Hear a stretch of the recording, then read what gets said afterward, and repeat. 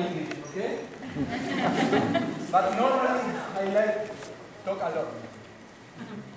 Today is a exception because it's so big, this place.